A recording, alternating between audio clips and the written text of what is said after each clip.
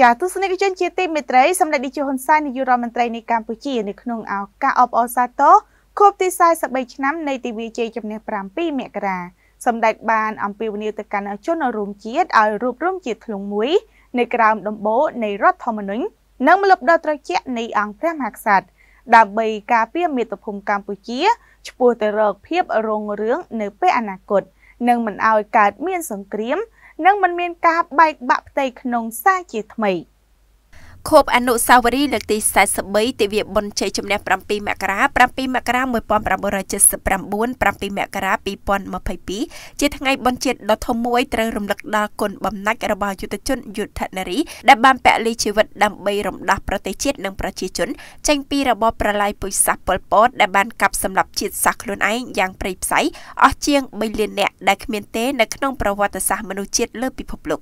ឱកាសដ៏វិសេសវិសាលនេះតាមរយៈសារលិខិតក្នុងឱកាសខួបអនុស្សាវរីយ៍លើកទី43ឆ្នាំថ្ងៃជ័យជំនះ7មករាសម្ដេចនាយកហ៊ុនសែននាយករដ្ឋមន្ត្រីនៃកម្ពុជានិងជាប្រធានគណៈបកប្រជាជនកម្ពុជាបានអំពាវនាវដល់បងប្អូនជនរួមជាតិបន្តរួបរวมសាមគ្គីជាធ្លុងមួយក្រោមដំបូលរដ្ឋធម្មនុញ្ញនិងមលុបដ៏ត្រជាក់នៃអង្គព្រះមហាក្សត្រជាទីគោរពសក្ការៈដ៏ខ្ពង់ខ្ពស់បំផុតដើម្បីសម្រេចបានសមិទ្ធផលថ្មីថ្មីទៀតក្នុងការកសាងនិងការពារមេត្តាភូមិឆ្ពោះទៅរកអនាគតដ៏រុងរឿងដែលពុំមានការកាត់ឡើងជាថ្មីទៀតនៅអំពើប្រល័យពិសាសង្គ្រាមនិងការបែកបាក់ផ្ទៃក្នុងជាតិដូចពេលមុនប្រមុខរាជរដ្ឋាភិបាលកម្ពុជាបានថ្លែងថាថ្ងៃទី7មករាឆ្នាំ2022នេះជាថ្ងៃខួប43ឆ្នាំនៃទិវាជ័យជំនះជាប្រវត្តិសាស្ត្ររបស់ប្រជាជនកម្ពុជាលើរបបប្រល័យពូជសាសន៍ប៉ុលពតដែលបានសង្គ្រោះជាតិឲ្យរស់រានមានជីវិតឡើងវិញទាន់ពេលវេលា បញ្ចប់សម័យកាលដ៏ខ្មៅងងឹតបំផុតហើយបើកឡើងនៅសក្ការៈថ្មីរបស់កម្ពុជា គឺឯករាជ្យសេរីភាពប្រជាធិបតេយ្យនិងវឌ្ឍនភាពសង្គម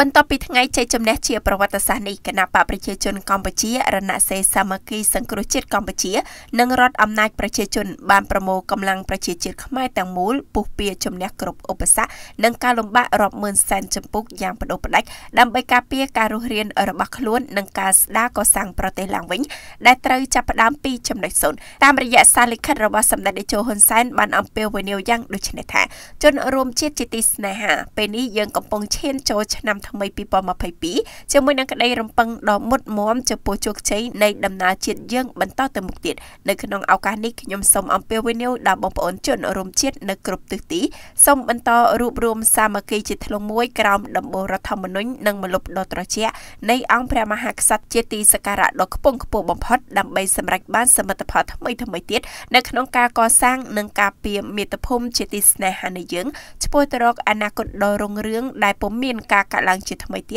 នៅអំពើប្រល័យពូជសាសន៍សង្គ្រាមនិងការបែកបាក់ផ្ទៃក្នុងជាតិដូចពេលមុនបន្ថែមពីនេះសម្ដេចនាយកហ៊ុនសែនបានបញ្ជាក់ថាជោគជ័យក្នុងការអនុវត្តបណ្ដាភារកិច្ចជាយុទ្ធសាស្ត្រនេះបានបង្កើតបុព្វបត្តិនិងលក្ខណៈសម្បត្តិជាមូលដ្ឋានសម្រាប់ការស្វែងរកសន្តិភាពនិងបង្រួបបង្រួមជាតិនិងការបន្តស្ដារនិងអភិវឌ្ឍប្រទេសជាតិលើគ្រប់វិស័យឲ្យមានការរីកចម្រើនរហូតមកដល់ពេលនេះបរិះខ្លាំងកម្ពុជាបានបញ្ជាក់ថាថ្ងៃទី7មករា1979ត្រូវបានប្រជាជនកម្ពុជាប្រសិទ្ធនាមថាជាថ្ងៃកំណត់ទី2របស់ខ្លួនបើគ្មានជ័យជំនះថ្ងៃ7មករាយើងពិតជាគ្មានជីវិតរស់នៅមកដល់សប្តាហ៍ថ្ងៃទេហើយក៏គ្មានអ្វីអ្វីដោយបច្ចុប្បន្នដែរនេះជាសច្ចធម៌ប្រវត្តិសាស្ត្រ